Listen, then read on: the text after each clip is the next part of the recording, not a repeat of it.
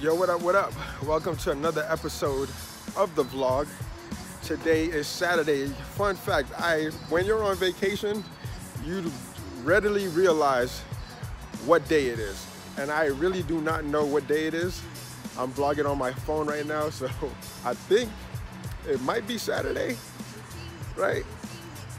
Um, right now, we're about to go to meet up with a few friends out here in Salt Lake and just hang out and enjoy, um, presumably Saturday, and have like a good old fashioned time.